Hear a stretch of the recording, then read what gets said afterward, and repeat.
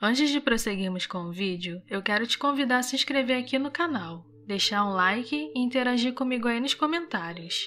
Estarei aqui diariamente trazendo notícias, homilias e outros assuntos católicos.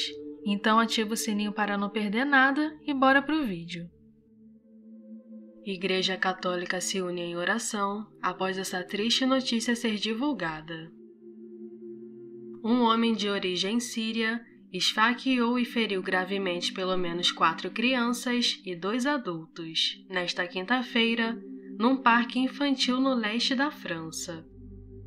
O bispo local expressou a sua solidariedade e garantiu as orações da comunidade católica.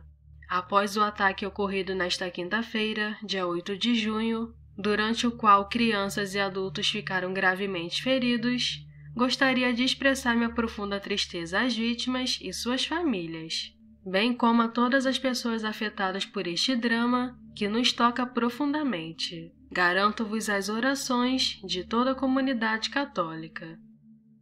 O bispo enfatizou que este drama nos questiona sobre a violência que a nossa sociedade está vivendo e nos exorta a trabalhar cada vez mais juntos para combatê-la.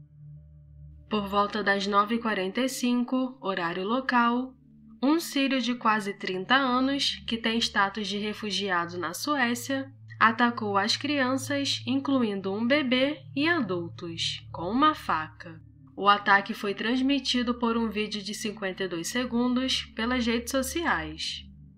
O agressor, que não tem casa na França e também não tem registro policial, foi detido logo depois pela polícia, enquanto os serviços de emergência atenderam rapidamente as vítimas.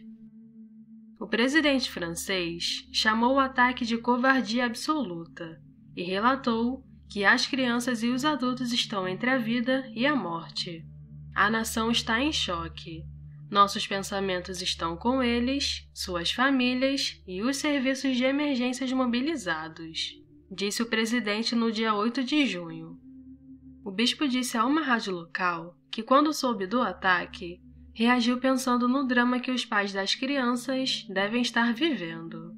Depois disso, é claro, o bispo e os católicos da diocese só podem se unir no sofrimento, tanto quanto possível e querendo expressar nossa esperança como os outros.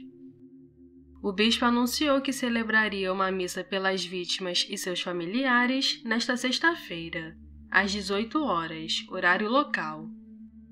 A reação de um cristão na dor também é oração. Aqueles que creem se unirão e olharão para Deus juntos, e os outros poderão se juntar a este processo de meditação diante desta tragédia e violência em geral, concluiu o prelado.